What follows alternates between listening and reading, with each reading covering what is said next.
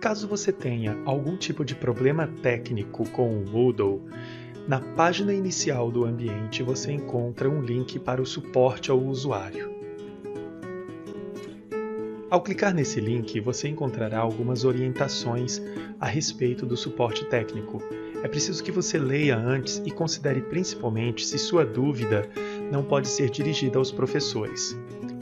Dificuldades no envio das atividades problemas com notas, dúvidas sobre o funcionamento da disciplina no Moodle, ou mesmo outros problemas relacionados às questões pedagógicas ou didáticas do uso do ambiente virtual, precisam ser dirigidas diretamente aos professores das turmas.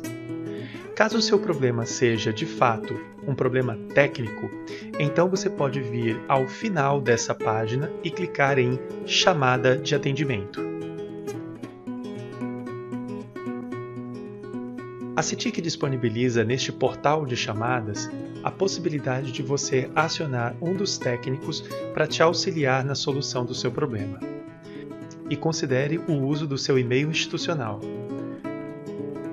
dê detalhes sobre o assunto e descreva da melhor maneira possível o problema que você enfrenta. E clique em Enviar. Você receberá um e-mail de confirmação da sua chamada e passará a contar com acompanhamento de um técnico da CETIC.